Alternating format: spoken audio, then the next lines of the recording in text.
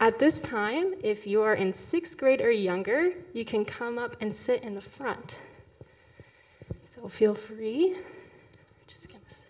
You can sit on the carpet or on the step. Happy Easter, guys.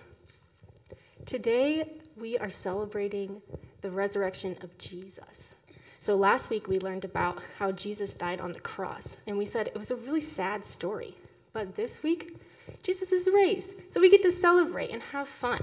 So, to learn a little bit more about the resurrection of Jesus, we've got some gum.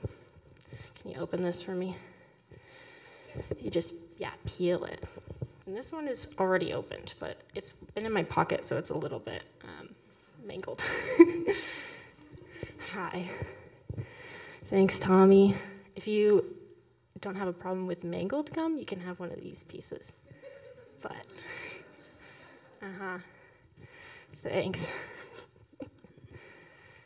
it's peppermint, so hopefully you're not allergic.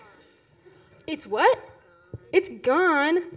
Our gum is empty, just like the tomb. Wow, you've got a lot of pieces. Are those empty too?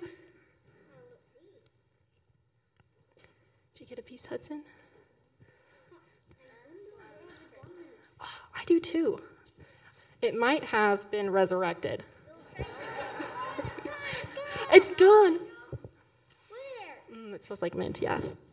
Well, just like Jesus in the tomb, the gum might have been resurrected, and that's why it's empty. So the tomb is empty, is what we've learned. So we get to. I was really hoping to have. You know, me too, but actually, I'm allergic to mint gum, so it's probably better that we don't have any. Because I really like mint. I know, it doesn't really make a lot of sense. But because Jesus was resurrected, we get to celebrate today. So we're going to have an Easter egg hunt, and then we have a really fun craft from Jan Endermill.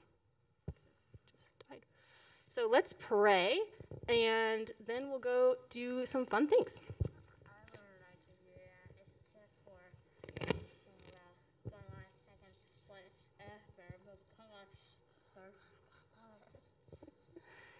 All right, let's pray. God, thank you for bringing all of us together today.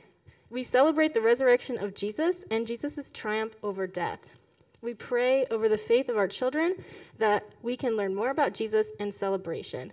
Thank you, God. In Jesus' name we pray.